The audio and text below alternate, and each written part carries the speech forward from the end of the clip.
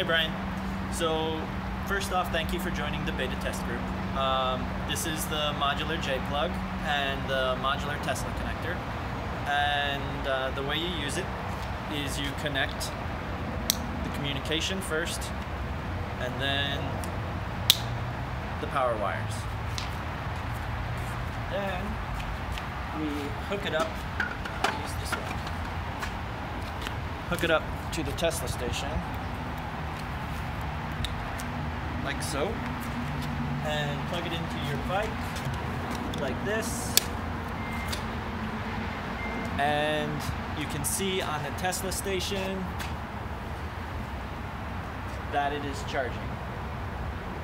When you see that little green thing going up and down, that means you're charging. On my leaf, you can see the blue dot flashing, which means that the leaf is charging. And that's how you use it. Let me know.